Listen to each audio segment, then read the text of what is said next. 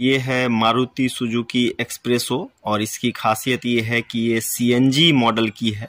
इसमें बहुत सारी चीज़ें बाहर से भी लगवाई गई है और बहुत सारी एक्सेसरीज जो है वो शोरूम से भी लगवाई गई है। तो आइए देखते हैं कि मारुति एक्सप्रेसो सीएनजी जो वी एक्स आई प्लस होता है, उसमें क्या क्या चीज़ें आपको लगी हुई आती है और कैसा उसका लुक है, ये तो पहले फ्रंट लुक की बात करें।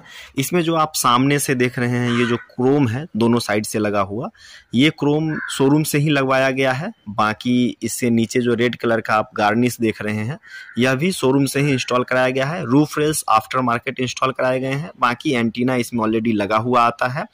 और बाकी जो भी जैसा है सामने से, वो पूरा रॉ लुक में ही है। बात करें अगर हम लोग साइड प्रोफ़ाइल की तो चलिए साइड प्रोफ़ाइल की तरफ़ चलते हैं। Maruti Suzuki V X I plus C N G model का ये साइड प्रोफ़ाइल है। इसमें जैसे आप देख रहे हैं, वहाँ टर्न इंडिकेटर के साइड में जो भी क्रोम्स लगाए गए हैं, वो भी आफ्टर मार्केट लगाए गए हैं। डोर हैंडल पे भी जो क्रोम्स लगे हैं, वो आफ्टर मार्केट हैं। लेकिन यहाँ पे जो डोर गार्ड है वह शोरूम से लगवाया गया है। साथ के साथ जो डोर पे वो ब्लैक कलर की पट्टी आपको दिख रही है, इसे जो भी कहते हो टेक्निकल टर्म में, यह शोरूम से इंस्टॉल करवाया गया है। साथ के साथ व्हील कवर भी जो है, यह शोरूम से ही लगवाए गए हैं। रूफ रेल्स आफ्टर मार्केट लगाया गया है। चलिए, चलते हैं अब रियर प्रोफ़ाइल की ओर। ऊपर जो रेड कलर का स्पॉइलर आप लगा हुआ देख रहे हैं, वह भी शोरूम से ही इंस्टॉल करवाया गया है, जिसकी कॉस्ट लगभग three two four thousand rupees पड़ी थी। टेल गेट में जो आप क्रोम लंबा सा लगा हुआ देख रहे हैं मारुति के लोगों के ऊपर, वह भी शोरूम से ही इंस्टॉल करवाया गया है।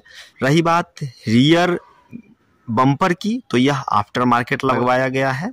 इसके साथ ही वह जो रेड कलर की गार्निश है, वो चारों पैक एक साथ आता है, जो शोरूम से लगवाया गया था। बाकी रियर हेडलाइट पे जो आप क्रोम लगा हुआ देखते हैं वह भी आफ्टर मार्केट ही इंस्टॉल करवाया गया था। रियर ग्लास की बात करें तो यह बहुत ज़्यादा हद तक मारुति बलेनो से इंस्पायर्ड दिखती है।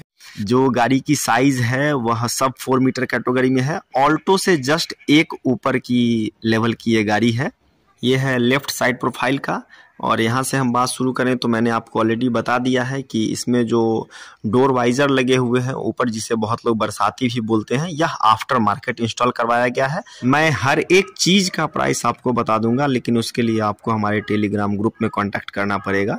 एक्चुअली क्या होता है कि वीडियो आज मैं शूट कर रहा हूँ, लेकिन ये बहुत लंबे समय तक लोग देखते रहते हैं और प्राइस अपडेट होते रहती हैं। तो इसलिए अगर आपको किसी भी चीज़ का प्राइस चाहिए तो वीडियो डिस्क्रिप्शन में हमने अपने टेलीग्राम ग्रुप का लिंक दिया हुआ है।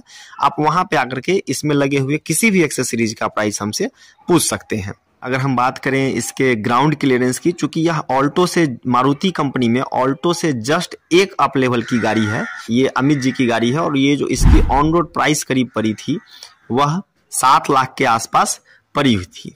अब बात करते हैं इसके tyre size and ground clearance की। तो 180 mm का ग्राउंड क्लियरेंस आता है जो कि रेनॉल्ट ट्राइवर, जो कि सेवन सीटर है, उससे सिर्फ़ 2 mm कम है। 182 रेनॉल्ट ट्राइवर का ग्राउंड क्लियरेंस है। वहीं पे मारुति सुजुकी एक्सप्रेसो का 180 mm का ग्राउंड क्लियरेंस है। और टायर प्रोफ़ाइल की भी अगर हम बात करते हैं तो यहाँ पे आप देखिए 165 70 R14 यानी 14 इंच के व्हील्स इसमें लगे हुए आते हैं। वहीं पे अगर आप बात कीजिएगा रेनॉल्ट ट्राइवर का तो उसमें आपको 15 इंच के टॉप मॉडल में और जस्ट टॉप से नीचे सभी में 14 इंच के ही ग्राउंड क्लियरेंस मिलते हैं। तो बाकी दोनों का टायर साइज़ लगभग सेम ही है और ग्राउंड क्लियरेंस भी लगभग इक्वल ही है।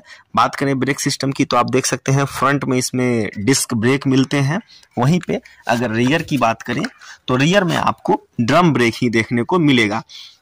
व्हील कवर लगे हुए हैं, यानी जो इसमें रिम लगा हुआ आता है, वो स्टील रिम ही लगा हुआ आता है। अब चलिए चलते हैं गाड़ी के अंदर और देखते हैं कि कहाँ पे क्या मिलता है।